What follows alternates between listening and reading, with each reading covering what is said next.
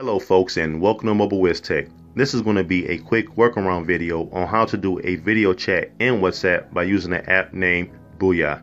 It is a free download in the Google Play Store and I will have a link posted in the description for you as well. Now in order for this to work, the WhatsApp contact must also have Booyah installed. So once you're in the app, just like the animation is displaying, tap on the add friends to this chat button.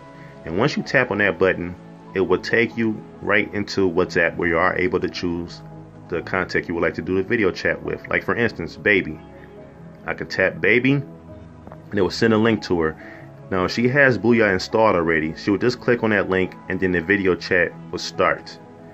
If not, it will take her to the Play Store where she could download the app and then she could come back here, tap on the link, and then start the video chat. And it's that simple. So let me know what your thoughts are in the comment section below. Also, please click like, subscribe, and also share. And as always, thank you for watching.